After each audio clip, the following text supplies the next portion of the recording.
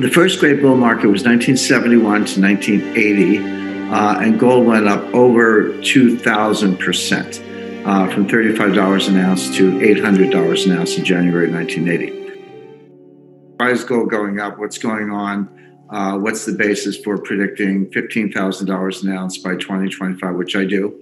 Uh, but then also, well, what, is it, what does it really mean? Is that uh, you said it's not a good thing, and, and, I agree, it's not a good thing for the economy. It's not a good thing for um, uh, for most Americans. If you have gold, you can pat yourself on the back and say, "Yeah, I made a lot of money on gold," but it, that might be in a world where you're losing a lot of money on other things, and you need to be alert alert to the overall economic picture. So let's take this one at a time.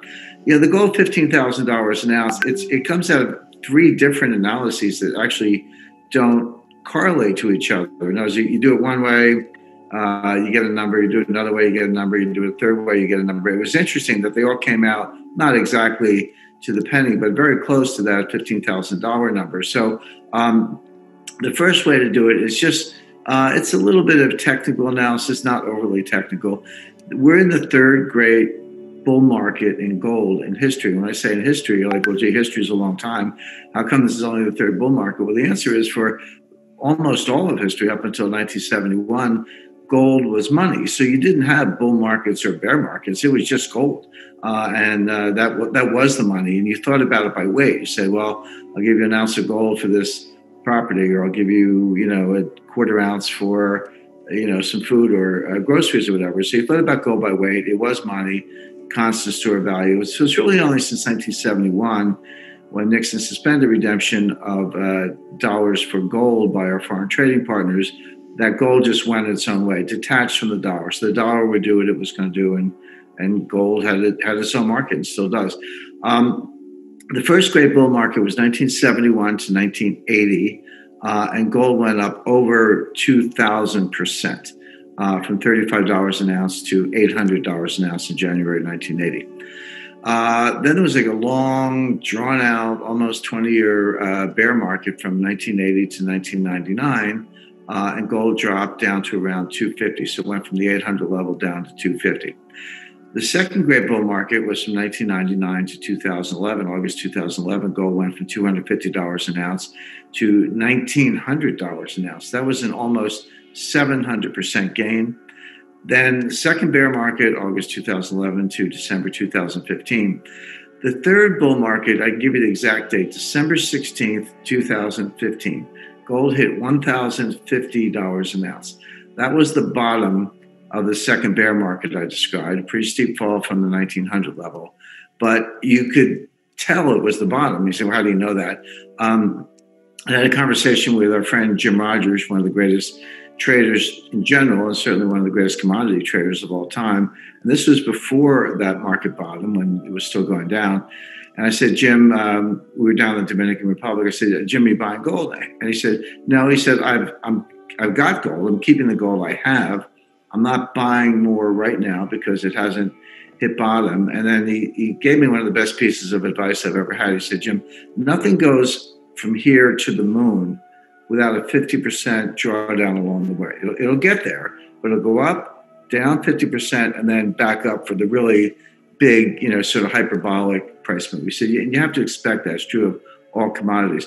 Well, taking that advice, I then, you know, looked at the charts. Well, starting – uh, 1900, if you say, okay, it was, it was 250 was 1999, 1900 was August 2011.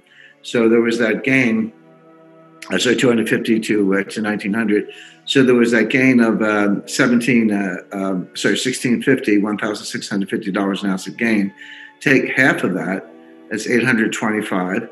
Um, so take 1900 minus 825 and guess where you come out? You come out right at uh, you know right at uh, 1075. And so uh, when I saw 1050, I said, "Bingo! There's the 50% drawdown. It's exactly what Jim Rogers uh, said would happen. Uh, that's the bottom."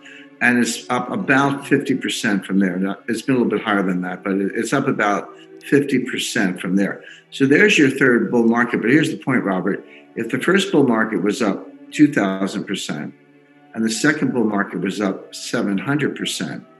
If you just take the average of those two, you don't have to pick the higher of the two. You don't have to go crazy or say it'll be bigger than ever. It could be, but you don't have to do that. If you just take the average of those two, um, you would come up with a number around uh, uh, 1,400% gain from where we from from the 1050. Well, that would put you at almost $15,000 an ounce. So in other words, and, and the same time period, the first bull market was uh, uh, eight years, uh, uh, sorry, nine years. The second bull market was 12 years. Just take the average, you get 10 and a half years.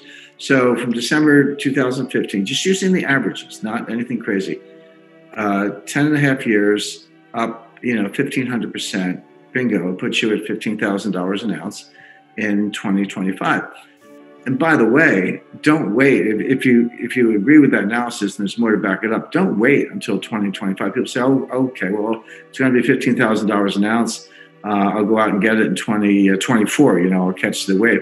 No, it's it, it's a long way between here and 1500. I mean, you got to get to 3,000, 4,000, 5,000, 6,000, 7,000, etc. You got a long way to go to 15,000. So why not get get the gold now, which I do recommend, and then enjoy all those profits. Don't wait to the end because it could happen. There could be like a little spike at the end.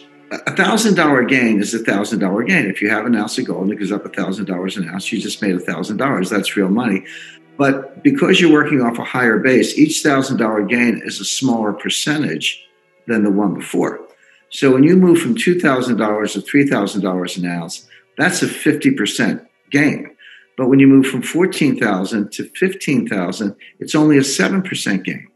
So that's why these bull markets get, get a lot of their gains toward the end because 7%, that's a week. And then you're not going to, you might have to wait a while to get to 3,000. But if you're at 14, you're not going to wait long to get to 15. A 7% could be a one week rally. So, in other words, those $1,000 increments are smaller percentages and easier to achieve the further along you go. So, One more reason to get the goal now. So, so that's why you, have talked about it. It goes parabolic. It goes.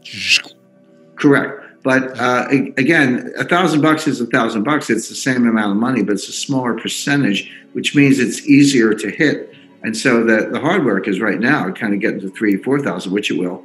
But uh, it, it, can really take off from there. Hundred dollar days are going to be the norm.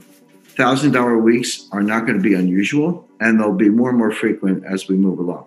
So that's one analysis. The second analysis is um, if you just use a monetary analysis. I'm not saying we're going to go on a gold standard. We may. But right now, there's not a central bank in the world that wants a gold standard. Not one. They hate it. But they may be forced to go to it or something like it because if, if confidence is lost in in government money and, and fiat money, uh, they may have to turn to gold, not because they want to, but because they have to to restore confidence. So, what's that math? Well, um, the, the global money supply is about, um, I'm using M1 and the major economies, which is about 80% of global GDP, uh, is about 33 trillion.